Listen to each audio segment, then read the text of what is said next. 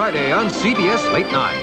Today is going to be the biggest day in my career. Or it may turn out to be the last day of her life. Jump! Are you nuts? On Magnum PI. And Monday, their assignment sounded so easy. All anyone has to do is shoot out the tires. And it could mean the end of the firm known as Remington Steele. Thursday on Knots Landing, Ben walks out on his family What? while Sumner secures his empire. He's gonna put you on top. Thursday, This week on CBS Late Night, an artist creates a diversion that leads to murder and a theft worth 300,000 was on on Night Heat.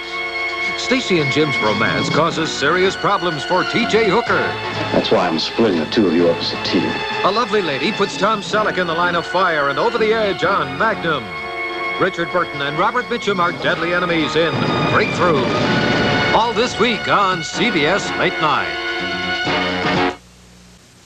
Tuesday on The Equalizer. I know he's up to something. The man next door is a killer on the loose. Are you in trouble? There's only one witness, Are you saying that I made this whole thing up? and no one believes her. He's already killed her friend. The only man to turn to is The Equalizer. There is nothing that will stop me from going after him.